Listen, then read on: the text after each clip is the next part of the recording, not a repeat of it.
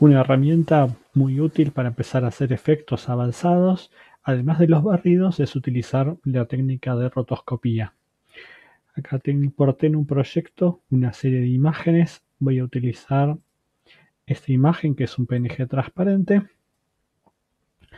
en el que yo podría hacer eh, diferentes efectos para que mover el texto, eh, pero tendría que mover toda la imagen, pero puedo usar rotoscopía para eh, animar la transparencia que tenga. Entonces, lo que puedo hacer es ir a efectos, buscar rotoscopía y arrastrarlo. Cuando aparezca rotoscopía, van a ver que en los parámetros acá me aparece que puedo hacer clic para hacer una figura y botón derecho para cerrarla. Entonces esto me hizo una forma que es una forma vectorial que uno puede darle forma como si fuera Inkscape con Beziers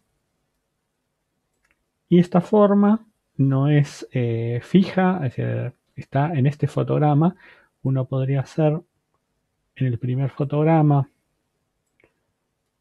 hacerlo de un tamaño y en el segundo de otro y hace la eh, transformación de uno al otro. Entonces así podemos hacer el efecto que este bloque de texto aparezca.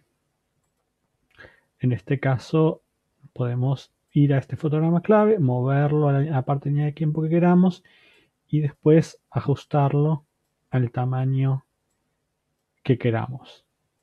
Y el programa hace la interpolación entre este, estos dos fotogramas claves que hicimos.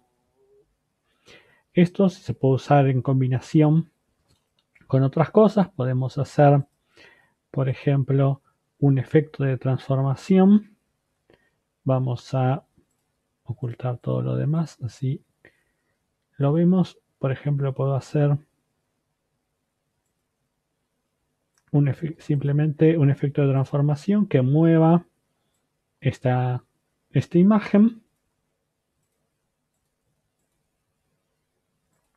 y otro efecto de transformación que mueva esta otra y el, el efecto de de aparición de ese campo en el medio. Entonces generamos una animación en la cual estas cuentas se mueven y abre paso ese texto. En este caso, yo eh, los estos son PNG transparentes.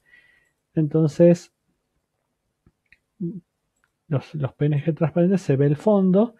Y en el caso acá de la rotoscopía, eh, una cosa que cambié respecto a las paredes por defecto es el modo en alfa y operación de alfa mínimo. Así también puedo incorporar otro efecto de fondo que se incorpora con un barrido en el que además del texto que aparece cambia el color de fondo y esto podemos moverlo al, en la línea de tiempo hacer que aparezca antes o después o que dure más eso lo ajustamos podemos ir viendo cómo queda la animación y ir retocando el, el, tiempo a ver hasta la, fluidez. En este caso, esto está muy lento, entonces podemos hacer que se mueva más rápido. Y entonces podemos después procesar, marcamos el área de la animación que queremos y procesamos la sola seleccionada como un video.